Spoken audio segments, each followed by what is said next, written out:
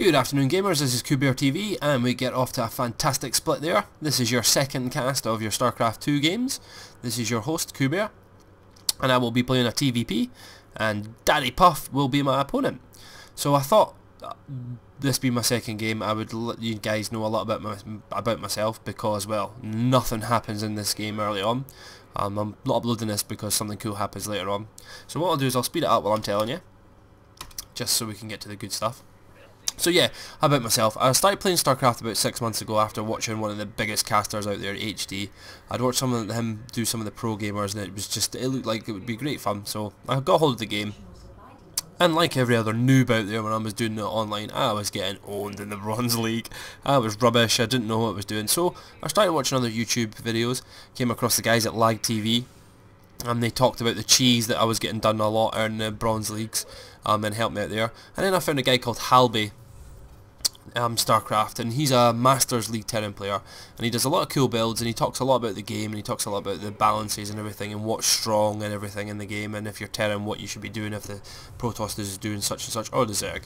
So I started to try and copy his builds but I believe this was probably before I'd started doing that. Um, uh, I do know that because I saw his Forge Fast expand I am throwing down an expansion but anyway, yeah, so I started getting into StarCraft. I'm, uh, I'm not very good. My macro my micro still sucks. You'll notice that I'm left-handed. That's right, I'm a left-hander, so I use my mouse in my left hand.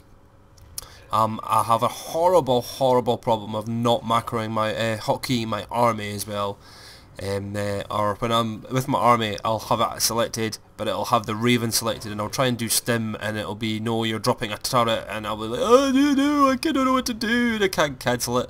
So my macro sucks a little bit. But um, uh, I'm going to talk a little bit basically about the game now. So here we go you can see that I've got some barracks coming down. Um, uh, I do think I do remember that I was going to do a blue flame Hellion drop at 10 minutes so you can definitely see this is the Bronze League. I'm also throwing up some Ghost Academies to put some ghosts into the game so I want to try some nukes. So I'm scanning so I can see he's got his Nexus down. I'm continuing my supply depots. Um, I've got my production of SCVs. You should be always keeping up an SCV production. It's one thing that I'm notoriously crap at, is I can never keep up with SCV production. So I'm going to do my blue flame drop. Oh, and then I see void rays, and there's a lot of void rays. So I know what my opponent's doing. He's going for a void ray push. Um, as you see, 13 minute mark. Our macro is at top form here. No one has done anything. So very early on, and I'm throwing down just an absolute ton of barracks for some reason.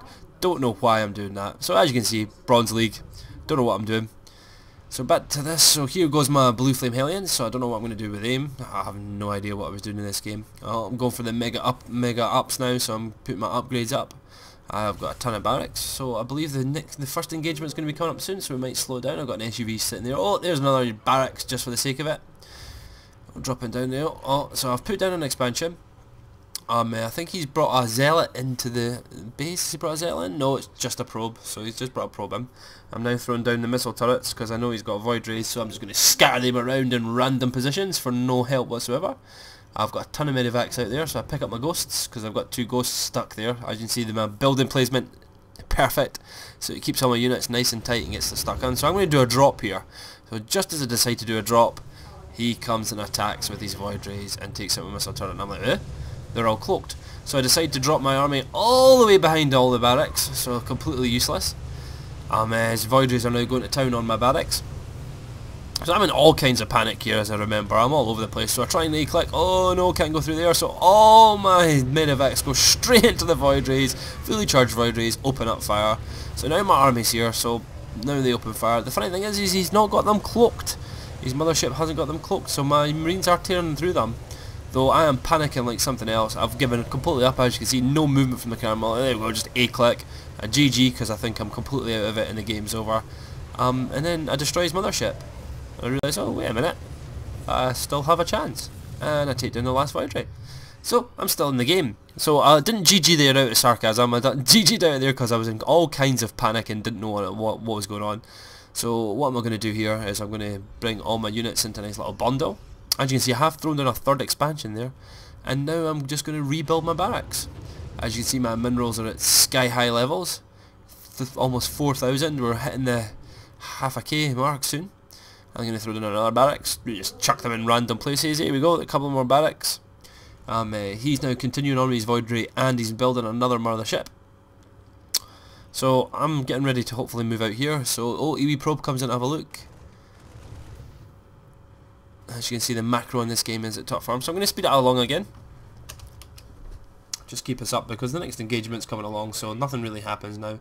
So I'm going to try and do a blue flame drop at 19 minutes. That just shows you how awesome my knowledge of the game is at this point. I'm doing a blue flame drop at 19 minutes against Protoss.